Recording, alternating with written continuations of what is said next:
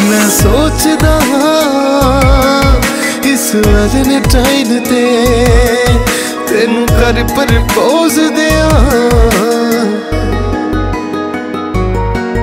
ਇੱਕ ਗੋਲਡ ਦੀ ਰਿੰਗ, ਇੱਕ ਚਰੀ ਵੀ ਤੇ ਇੱਕ ਰੈਡ ਰੋਜ਼ ਦਿਆਂ।